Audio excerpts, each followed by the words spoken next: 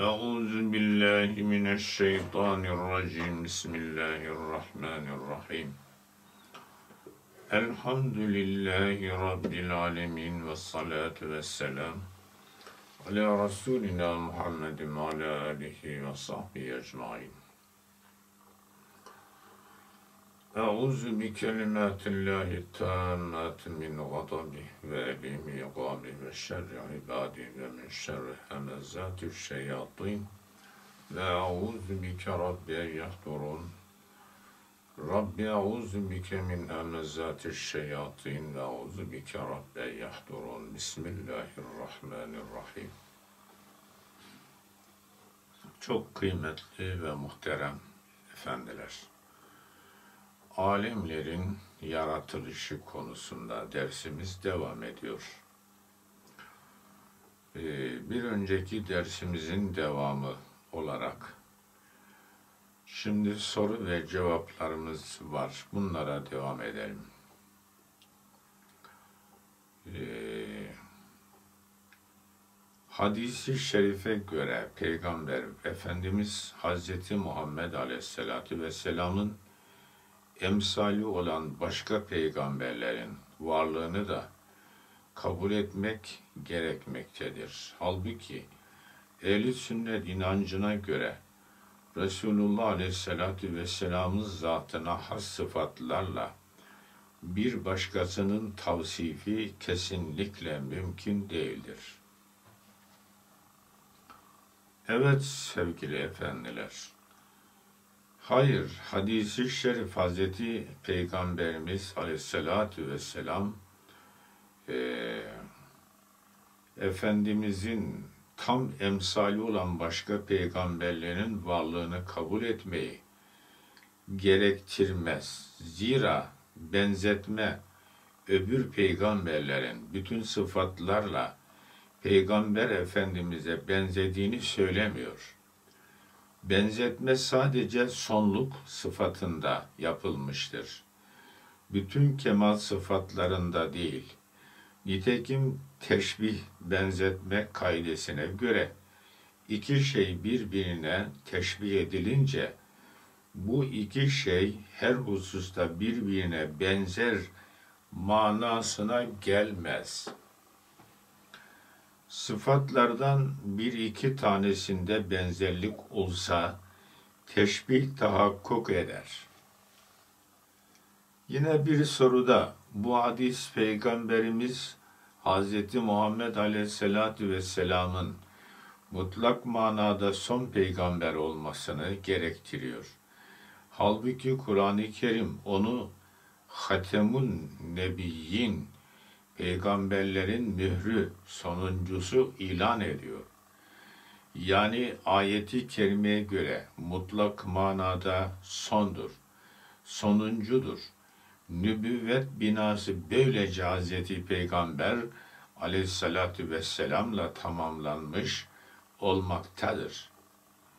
Hadisi şerife göre Hazreti Peygamber aleyhissalatü vesselamın benzeri olan diğer sonlarla sonuncu olanlar çoğalmış olmuyor mu? Resulullah Aleyhisselatü Vesselam'ın mutlak sonluğu e, halaldar olmuyor mu şeklinde sorulara İbn Abbas'ın rivayetinin zahiri şunu ifade eder. Yüce Allah her bakımdan sakinlerine peygamberler göndermiştir. Ve bunlar bizim tabakamızdaki gibi belli bir silsileyi takip etmiştir. Malum her silsilenin bir başı bir de sonu vardır.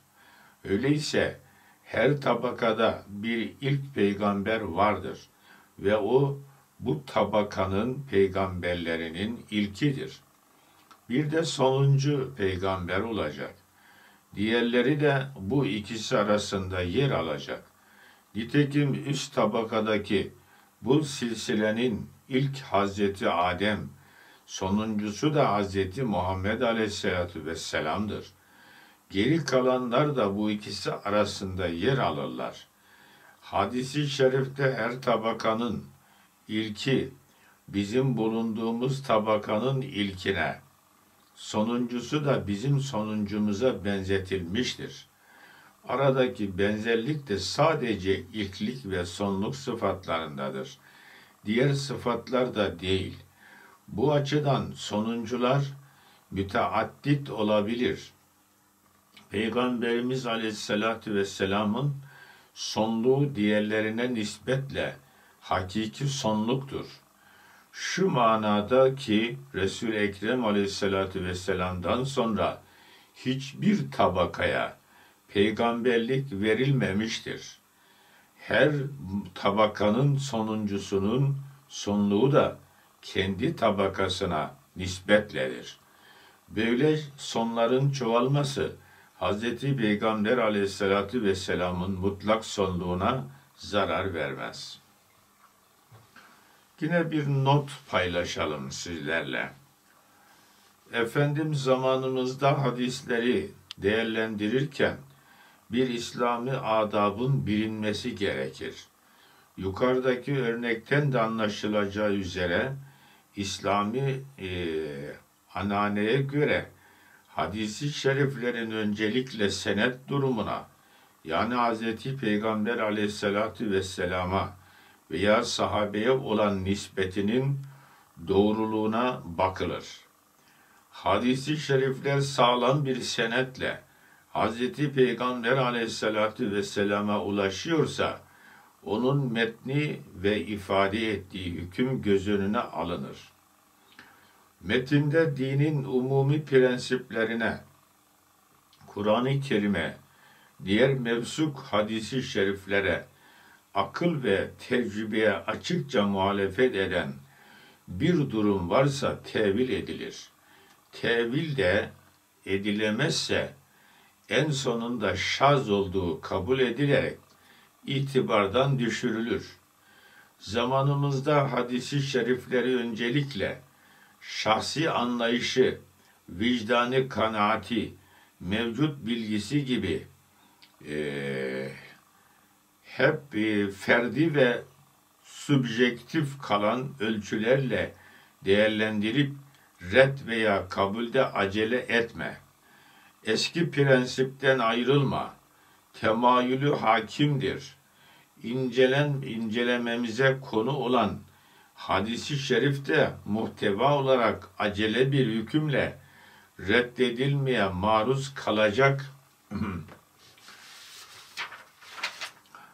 mahiyettedir. Hoşumuza gitmedi gitmedi diye bunu reddedecek olursak aynı kaynaktan aynı sıhhat şartlarıyla gelmiş ve fıkıhı fıkıha, ahkama menşe olmuş hadisi şerifleri de bir başkası reddeder. Bu dinde müthiş bir anarşi demektir.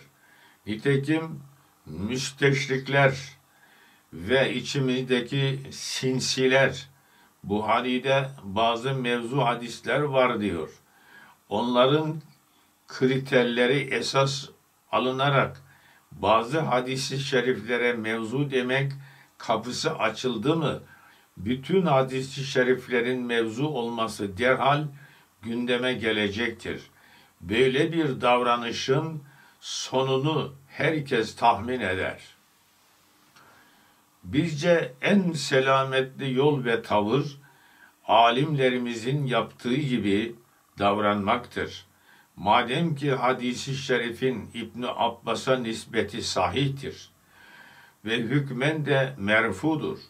Resulullah Aleyhisselatü Vesselam'ın sözüdür. Ve madem yukarıda yapılan açıklama ile umumi prensiplere muhalefet de etmemektedir.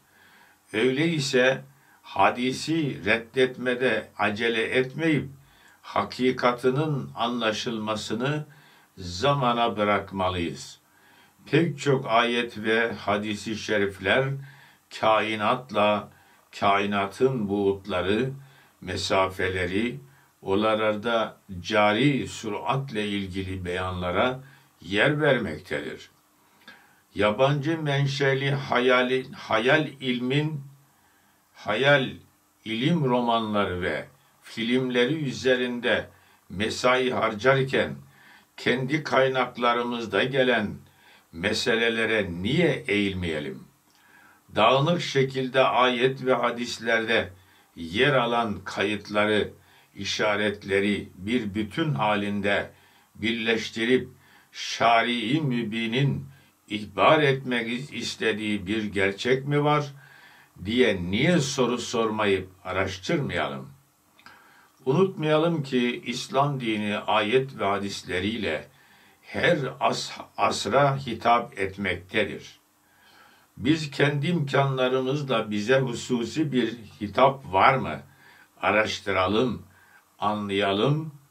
Anlayamadığımız işaretleri, hitapları da reddetmekten ziyade belki geleceğe aittir diye saygıyla karşılayalım. Çünkü bugün Kur'an-ı Kerim'in birçok istikbale ait verdiği haberler, mucize haberler. O gün bugünkü gibi anlaşılmış mıydı?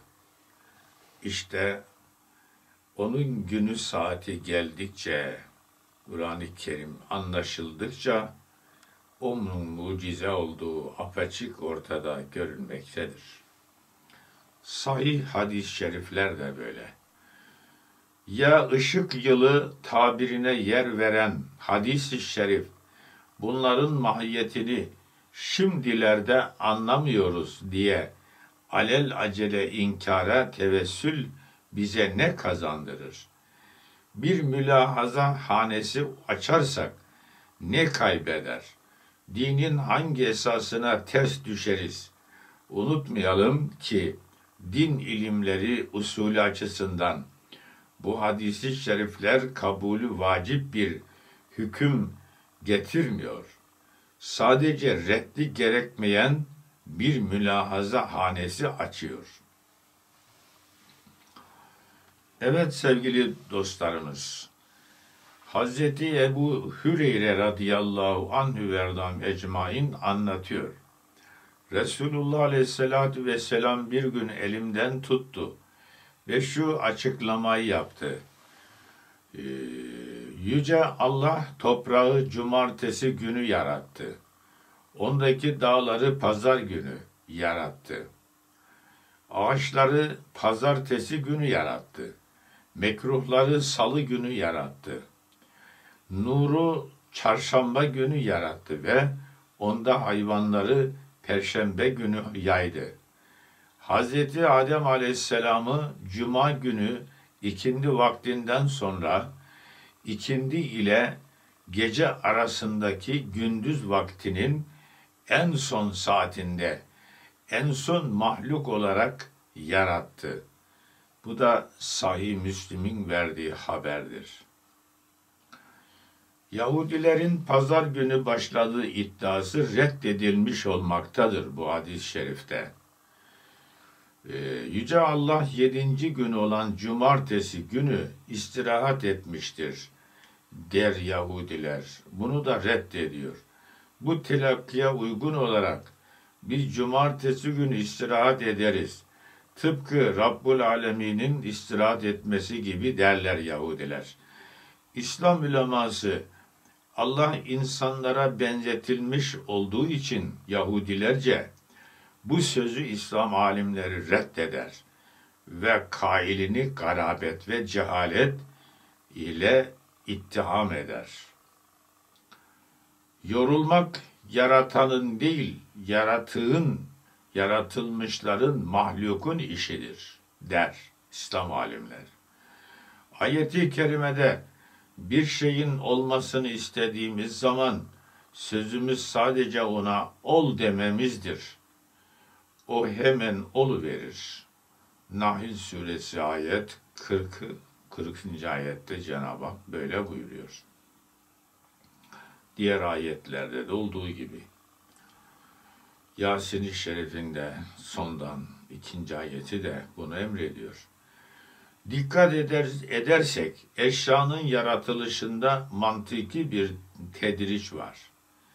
Sırayla toprak, dağlar, bitkiler, hayvanlar ve en sonda insan yaratılmıştır. Burada asıl hedefin yani kainatı yaratmaktan maksadın insan olduğu görülmektedir. Zira bir meyve ağacı meyvesi için dikilir. Meyve ise ağacın en son mahsulüdür. Çekirdek, filiz, fidan, ağaç, yaprak, çiçek safhalarından geçtikten sonra meyveye ulaşılır. Ayeti kerimede arzın insanlar için bir beşik kılınması. Taha suresi ayet 53. Teşbihini bu hadisin açıkladığını söyleyebiliriz. Zira beşik önceden bebek için onun büyümesine uygun şekilde hazırlanır. Buradaki tedricin fıtriliğini belirtmek için şu da söylenebilir. Dağların yaratılması ağaç ve bitkilere zemin hazırlamıştır. Bitkiler hayvanların yaratılmasına, bitki ve hayvanların varlığı insanların gelmesine zemin hazırlamıştır. İnsan hayatı bunların varlığına vabestedir. Bazı alimler Yüce Allah'ın her şeyi bir anda yaratabilecek güçte olmasına rağmen tedrici şekilde yaratmış olması mahlukatına rifk ve tesebbüt yani teennili ve sağlam adım atma dersini vermek içindir diye yorumlamışlardır. Yani burada insanlara da Cenab-ı Hak ayrıca ders veriyor. Sevgili dostlarımız, e, Şeyhül İslam Zekeriya, Yüce Allah semavet ve arzı Hazreti Adem'i yarattığı aynı hafta içerisinde mi yarattı? Yoksa daha önce mi yarattı? Keza efendim Allah arzı semayı Adem'i yarattığı hafta içerisinde yarattı. Nitekim rivayet edilmiştir ki Yüce Allah arzı cumartesi, dağları pazar, ağaçları pazartesi, karanlığı salı, nuru çarşamba, hayvanları perşembe günü yarattı. O gün cumadan kalan üç saatte, üç saate kadar semavatı yarattı. İlk saatte afetleri, ecelleri, ikinci saatte rızıkları, üçüncü saatte de Adem'i yarattı. Arzın ömrü Adem'den öncedir. De ki gerçek siz mi e, o arzı iki günde yaratana küfrediyor? Efendim ona ortaklar katıyorsunuz. O alemlerin Rabbidir. Allah dördüncü günün hitamında orada üstünden baskılar yaptı. Orada bereketler yarattı. Onda arayanlar için dört günde misavi gıdalar takdir etti. Sonra iradesi göğe ki o bir buhar halindeydi. Doğruldu da ona ve arza ikiniz de ister istemez gelin buyurdu. Onlar da isteye isteye geldik dediler.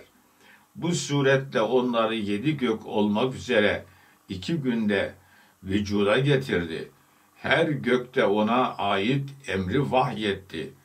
Dünya göğünü de kandillerle donattı. Bu da Fussilet suresinin 9 ve 12. ayeti kelimelerinin mealini burada vermiş oluyoruz. Hazreti Ebu Zer radıyallahu anhü verdan ecmain anlatıyor.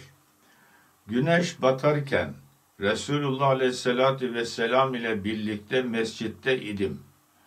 Bana ey Ebu Zer biliyor musun bu güneş nereye gidiyor diye sordu. Ben Allah ve Resulü daha iyi bilir, bilirler dedim. Arşın altına secde yapmaya gider. Bu maksatla izin ister. Kendisine izin verilir.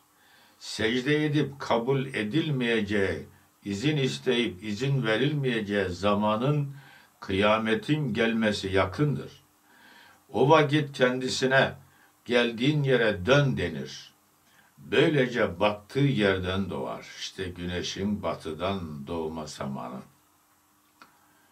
Bu durumu Cenab-ı Hakk'ın şu sözü haber vermektedir. Mealen, güneş duracağı zamana doğru yürüyüp gitmektedir. Bu aziz ve alim olan Allah'ın takdiridir. Yasin-i Şerif'in 38. ayeti kerimesi. Bunu da Buhari Müslim Tirmizi haber veriyor ayrıca. Kur'an-ı Kerim bütün mevcudatın ibadet yaptığını belirtirken İsra suresinin 44. ayeti kerimesinde güneşi secde edenler arasında betahsis zikrediyor Cenab-ı Hak. Had suresinin 18. ayeti kerimesi. Bazı alimler mahlukatın ibadeti nasıldır sorusuna fıtri amelleridir. Yani hangi iş ve vazife için yaratılmışsa o şeyi yaptı mı ibadet etmiş olur demişlerdir. Şu halde güneş her an ışık e, neşretmekle vazifesini yerine getirmekle ibadetini yapmakta, görevini yapmaktadır. Secdede bulunmaktadır. Bize nispetle batması, ışık neşri vazifesini bizden kesmesi demektir. Ama dünyanın başka kıtalarında aynı vazifeyi yapmaya, secde etmeye gidiyor demektir. Evet sevgili dostlarımız, Hazreti Ebu Hüreyre radıyallahu anhü anlatıyor. Resulullah aleyhissalatü vesselam buyurdular ki, güneş ve ay kıyamet günü sarılırlar. Bunu da Buhari Şerif haber veriyor. Ay ve güneş, ay ve güneş birleştirilir. Kıyamet suresi ayet 9. E, böyle buyurulmaktadır. Rivayetler bu birleşmeden sonra onların cehenneme atılacağını haber verir. Şarihler ay ve güneşin cehenneme atılması onlara azap etmek için değil, onlara tapmış olanların azaplandırılması ve dünyada iken onlara yaptıkları ibadetlerinin batıl olduğunu görmeleri içindir derler. Evet sevgili dostlarımız, İbn Abbas radıyallahu anhü ve erda mecmain anlatıyor. Yahudiler gök gürültüsünün ne olduğunu Hazreti Peygamber aleyhissalatü vesselam'dan sordular. Bulutlara müvekkel olan melektir. Beraberinde ateşten kamçılar var. Bununla bulutları Allah'ın dilediği yere sevk eder diye cevap verdi. Onlar tekrar sordular. Ya şu işitilen ses o nedir?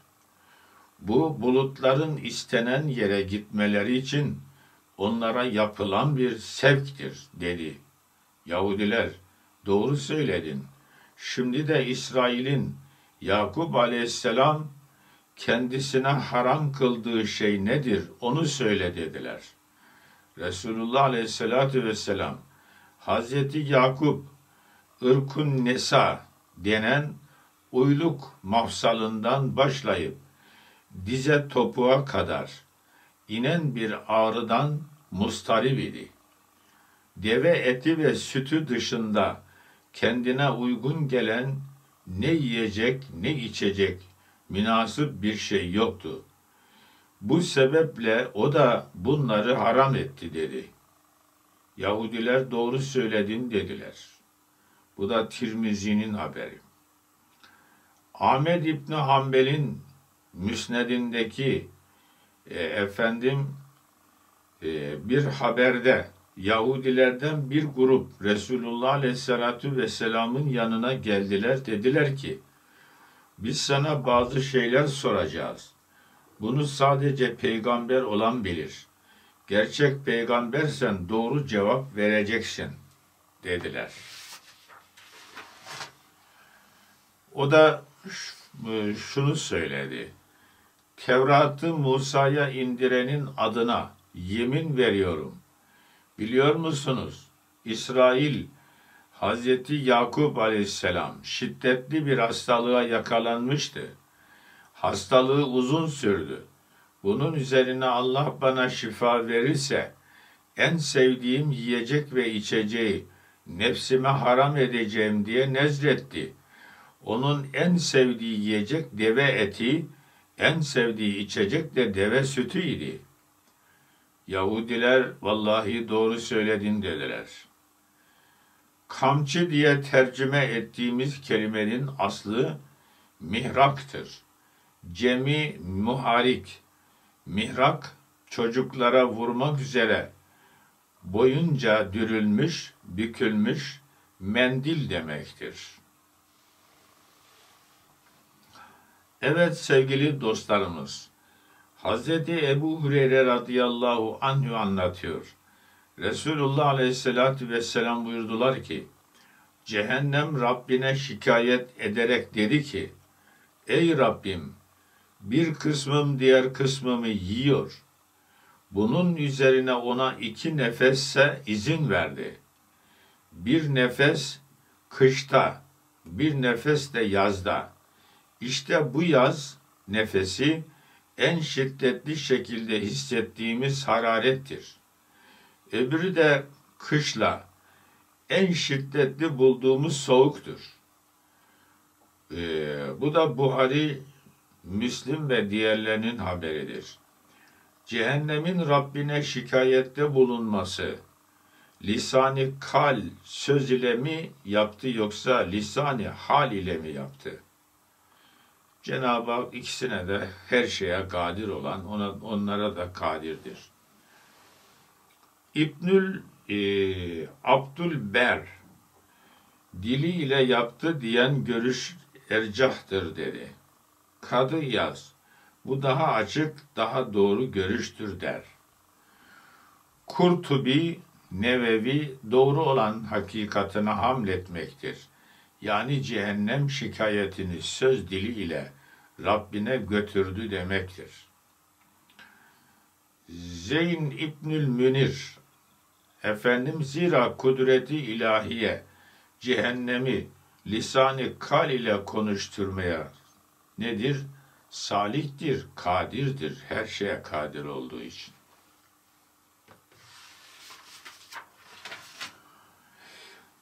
Evet sevgili dostlarımız, e, Katade Rahimehullah anlatıyor. Bu yıldızlar üç maksatla yaratıldı.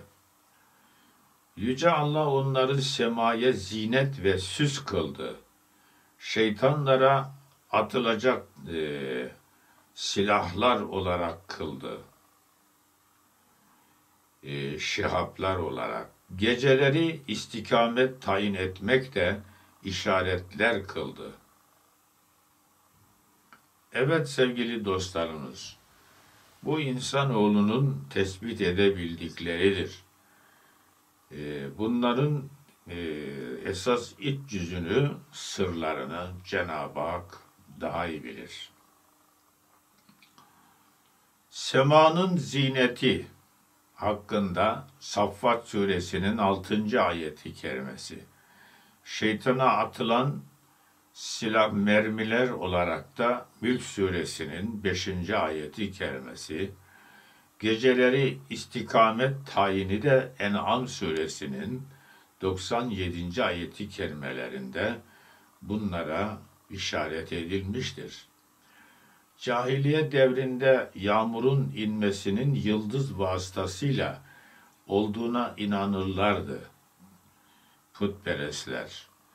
Şeriatımız onların bu sözlerini iptal etti ve bunu küfür ilan etti. Yıldızın bir sunu yaratması olduğunu itikat etse bu küfürdür. Dinden imandan çıkar. Allah'a eş koşmak küfürdür. Evet zaten İslam küfrü yok edip imanı onun yerine koydu. Cehli yok edip onun yerine ilmi irfanı koydu. Nifakı ortadan kaldırıp tevhidi ve ihlası koydu. Onun için şirki ortadan kaldırdı. Cenab-ı Hak ortaya hak olan Allah'ın birliğini, tevhid inancını koydu. Onun için Yüce İslam yanlışları devirdi. Kainat üzerinde en büyük inkılabı yapan Yüce İslam'ın kendisidir. Şanlı Peygamber aleyhissalatü vesselam Muhammed Mustafa'dır aleyhissalatü vesselam ve onun gerçek ümmetidir. Ebu Musa radıyallahu anhu anlatıyor. Resulullah aleyhissalatü vesselam'ı dinledim. Şunu söyledi.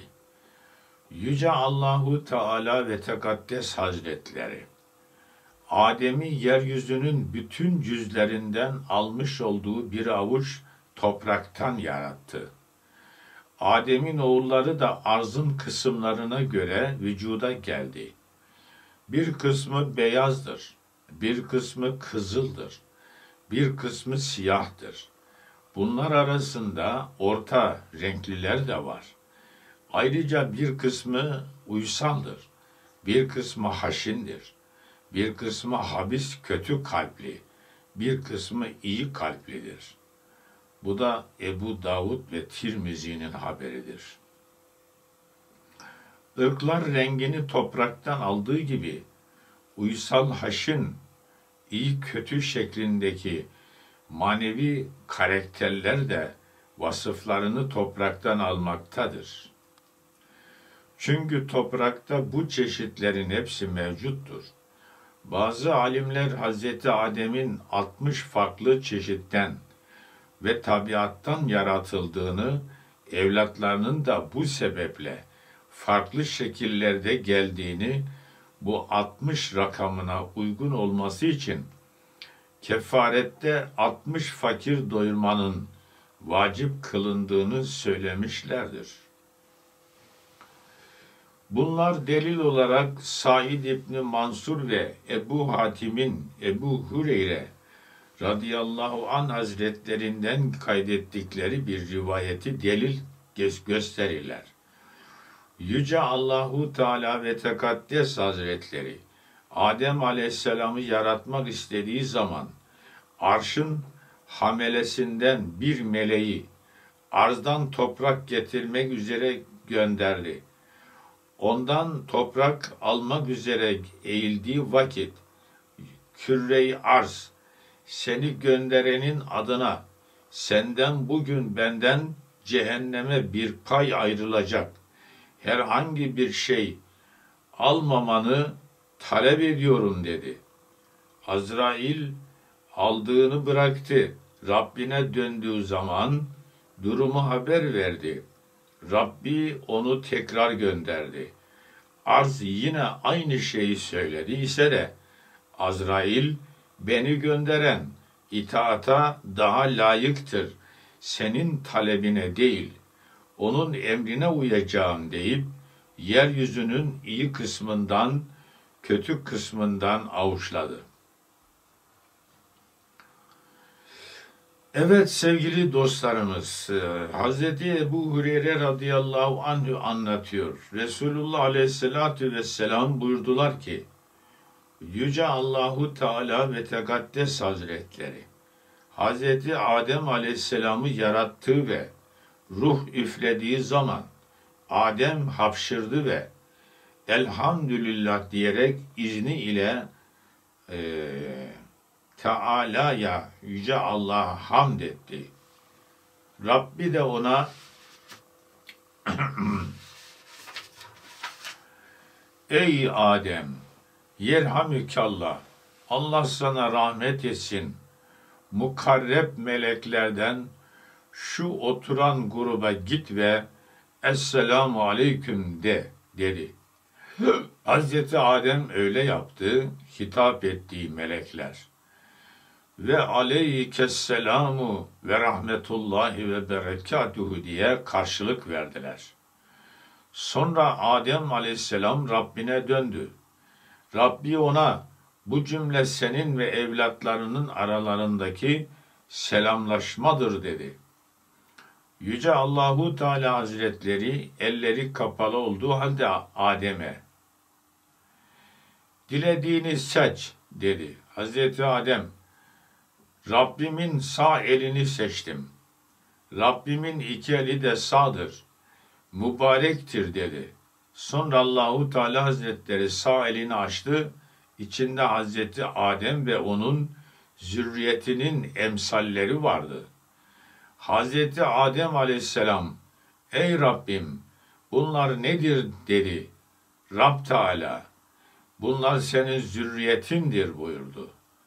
Her insanın iki gözünün arasında ömrü yazılıdı, yazılıydı. Aralarında bir hepsinden daha parlak, daha nurlu idi. Hazreti Adem, ey Rabbim bu kimdir dedi. Rab Teala Hazretleri bu senin oğlun Davud'dur. Ben ona 40 yıllık ömür takdir ettim dedi. Adem aleyhisselam, ey Rabbim onun ömrünü uzat, talebinde bulundu. Rab Teala bu ona takdir edilmiş olandır. Buyurunca Hazreti Adem, ey Rabbim ben ona kendi ömrümden 60 senesini verdim diye ısrar etti. Bunun üzerine Rab Teala sen ve bu e, talebin e, bera habercisisiniz. Talebin berabersiniz buyurdu. Sen ve bu be buyurdu.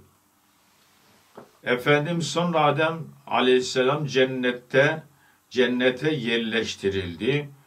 Yüce Allah'ın dilediği kadar orada kaldı. Sonra cennetten arza indirildi. Adem burada aleyhisselam kendi ecelini yıl be yıl sayıp hesaplıyordu. Derken ölüm meleği geldi. Hazreti Adem aleyhisselam ona acele ettin, erken geldin, bana bin yıl ömür takdir edilmişti dedi. Melek iyi ama sen oğlun Davud'a 60 senesini verdin dedi. Ne var ki o bunu inkar etti. Zürriyeti de inkar etti. O unuttu. Zürriyeti de unuttu. Resulullah Aleyhisselatü Vesselam ilave etti. O günden itibaren yazma ve şahitlik emredildi. Yani unutulan şeyler e, hatırlansın diye artık işler yazıya döküldü. Bu da Tirmizi'nin haberidir. Selamın karşılıklı sevgi kapısını açan bir anahtar, kardeşlerin kalpleri, kalplerini telif eden bir sır, imana götüren bir nur olmasındandır. Selamlaşma en eski sünnetlerden biri, insanlığa Cenab-ı Hakk'ın nimetlerinden ilkidir. Zat-ı ilahiye yedeğinin iki el izafesinden maksat cemal ve celal sıfatlarıdır. Cemal mutlak sağdır. Her ne kadar sağ celalde dahi varsa da bir diğer tevile göre iki el ile kudret ve mülk nimet ve güzel eser kastedilmiştir. Bir başka açıklamaya göre bu çeşit teşbihlerde elden maksat uzuv olan el değil, sıfat olan eldir. İki elin de sağ olması cud ve keremin bolluğu, sınırsız oluşudur. Daha bunun gibi neler? Tıbbi Allah'ın sağ elinin açılması ve içerisinden Hazreti Adem ve evlatlarının timsallerinin çıkmasını Hazreti Adem alemi gaybdeki kendi evlatlarının timsalini gördü diye açıklar. Yine onun açıklamasına göre bu vaka misaktan evvel cereyan etmiştir. Ve Hazreti Adem'in sağ elde görünmüş, görmüş oldukları salihlerdir. Hepsi imanları nispetinde farklı nurlara sahiptirler. Evet sevgili dostlarımız, saltanat tek başına bir nur değil, bilakis zulmani bir hicaptır. Dedikten sonra bu sebeple Hazreti Süleyman cennete peygamberlerden 500 yıl sonra girecek. Keza Abdurrahman İbni Av radıyallahu anh da saltanata benzeyecen, benzeyen çok mala sahip olduğu için fakir muhacirlerden 500 yıl sonra cennete girecektir der. Ali Yülkari ömrü uzatılana çok ömür verilmesi, kısaltılanın ömründen eksiltilmesi de hariç olmamak üzere hepsi bir kitapta yazılıdır. Bu yüce Allah'a kolaydır. Bu da Fatır suresinin 11. ayeti kerimesinde e, anlatılmaktadır. Evet hadis-i şeriften de sadakanın ömrü uzatacağına dair rivayeti hatırlatmaktadır. Ee, andolsun biz bundan evvel Adem'e de vahiy ve emretmişizdir. Fakat unuttu o. Biz onda bir azim bulmadık. Bu da Taha suresinin 115. ayetidir. Hz. Adem'in yasak ağaçtan yememe emrini unuttuğu kastedilmiştir. Hz. Ayşe-i Sıddık'a annemiz radıyallahu anha verdahünne verdam ecmain anlatıyor. Resulullah aleyhissalatü vesselam buyurdular ki, melekler nurdan yaratıldılar. Cinler dumanlı bir alevden yaratıldılar.'' Adem de size vasfı yapılandan yaratıldı. Evet bu da Müslim'in şerifin haberidir. Sevgili dostlarımız. İbni Ömer radıyallahu anhüme ve erdahın ecmain anlatıyor. Hayır, Allah'a kasem olsun. Resulullah aleyhissalatü vesselam Hz. İsa'nın kızıl çehreli olduğunu söylemedi. Ancak şunu söyledi. Ben bir keresinde uyumuştum. Rüyamda Beytullah'ı tavaf ediyordum. O sırada düz saçlı, kumral benizli, başından su akar vaziyette iki kişiye dayanıp ortalarında gitmekte olan birisini gördüm. Bu kim dedim. Meryem'in oğlu İsa dediler. Bunun üzerine daha yakından görmek için ilerledim. Kızıl, iri, kıvırcık saçlı, sağ gözü kör, gözü üzüm gibi petlek bir adam daha vardı. Bu kim dedim, bu Deccal dediler. İnsanlardan en çok ona benzeyeni İbn katandı. Ee, o peygamberimizin devrinde yaşayan bir kişi Deccal'a benziyordu. Zühri der ki İbn Katan cahiliye devrinde vefat eden huzaalı bir kimseydi. Buhari Müslim Muvatta'nın haberi. Bunlarda. Hazreti Cabir radıyallahu anhü anlatıyor. Resulullah aleyhissalatü vesselam buyurdular ki, bana geçmiş peygamberler aleyhisselam arz edildiler. Hazreti Musa zayıfça bir erkekti. Sanki e, Şenue kabilesinden uzun boylu birine benziyordu.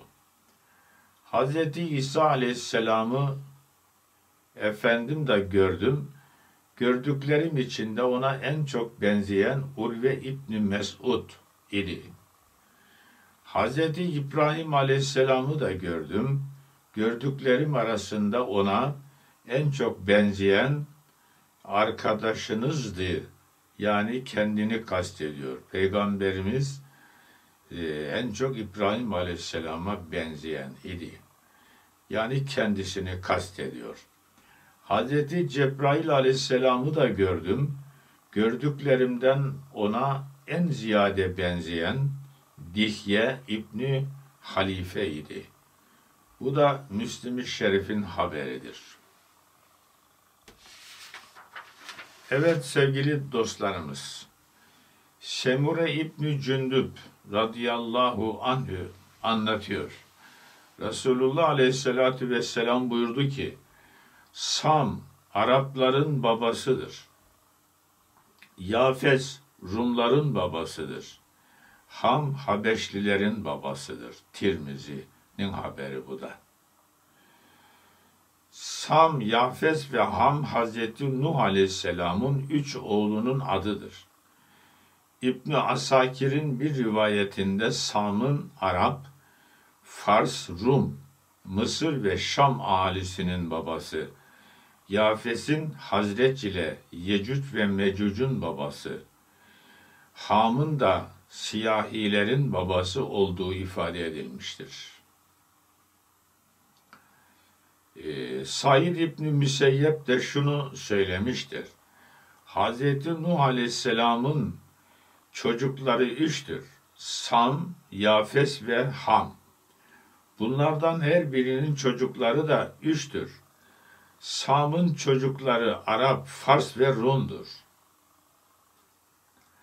Yafes'in çocukları Türklerdir. E, Sakalibe, Slav ve Yecüc, Mecüc'tür. Ham'ın çocukları Kıptiler. Yani Mısır'ın yerli halkı, Sudanlılar ve Berberilerdir. Vehib İbni Münebbih'ten de benzer bir rivayet yapılmıştır. Hazreti Ebu Hüreyre radıyallahu anh anlatıyor. Resulullah aleyhissalatü vesselam buyurdular ki, Zekeriya aleyhisselam e, marangoz idi. Bu da Müslim'in haberi. Resulullah aleyhissalatü vesselamın bir hadisi şeriflerinde en temiz kazanç kişinin eliyle kazandığıdır buyurmuştur. Bir diğer hadisi şerif aynı manayı e, daha da vurgular.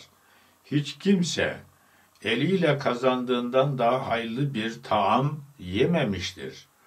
Allah'ın nebisi Davud aleyhisselam elinin emeğini yerdi.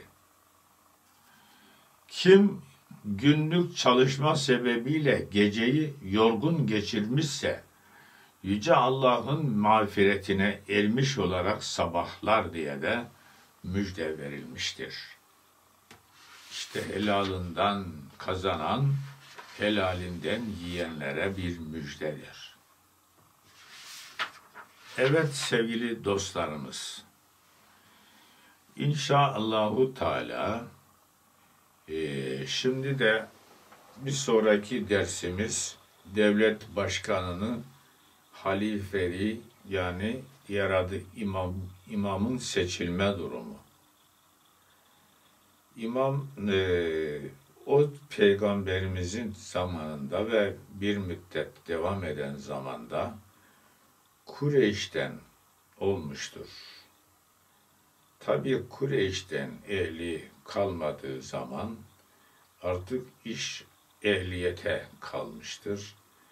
Ehil olanlar tercih edilmiştir. Bir sonraki dersimizde bu konuyla ilgili sizlere belgeler sunmaya, hadisi şerifler külliyatından keşif notları vermeye devam edeceğiz inşallah. Teala. Cenab-ı Hak dünyada bütün Müslümanlara ve tüm, tüm insanlık alemine Yüce İslam'ı doğru anlamayı, doğru yaşamayı ve dünyaya Yüce İslam'ın hakim olması için çalışmayı dünya Müslümanlarına birlik, beraberlik içinde bu görevi yerine getirmeyi Allah nasibi müyesser eylesin. Ey dünya Müslümanları! Müminler kardeştir buyuruyor Cenab-ı Hak. Kardeş olun. Bir olun, bütün olun. Ayrılmayın, parçalanmayın. Allah'ın bu sana kesin emridir. Müslüman Müslümana düşman olmaz. Müslüman Müslümanın mümin müminin kardeşidir. İnnemel müminüne ihvetun. Bu ayeti kerimeyi hiç mi hiç unutma. Kardeşin günahkarsa kendi günahlarına önce bak, sonra kardeşin günahlarına da bak hem kendini ıslah etmeye çalış hem de kardeşine faydalı olmaya çalış. Faydalı faydalı olmandan karşı taraf faydalanmak istiyorsa istemese kendi bilir. O da ayrı. Sen görevine bak. Sen müminlere kardeş olmaya bak. Hayırlı hizmetlere bak İslam'ı iyi öğrenmeye bak, iyi yaşamaya bak. Senin görevin bu. Kusur aramaya kalkarsan kendinden başla. Kendi kusurlarından başla. Öğütleri kendine ver. Kendine verirken başkalarına da verebilirsen tebliğde bulun. irşatta bulun. Ama işe kendinden başla. Lime tegulune ma la tefalun. Yapmadığınızı niçin söylüyorsunuz diyor Cenab-ı Hak. Evet tebliğ etmeli ama önce kendine tebliğ etmeli ve İslam'ı kendin bilmeli, yaşamalıdır. Daha sonra karşıya faydalı olmak için çalışmalıdır. Evet biz hatırlatıyoruz. Bir Dünya Müslümanları bizim kardeşimiz, müminler. Biz onların kardeşiyiz. Onlar bizim kardeşlerimiz. Kardeş kardeşe en hayırlı hizmeti vermek zorundadır. En hayırlı hizmet İslam'ı bilmek, tebliğ etmekle başlar.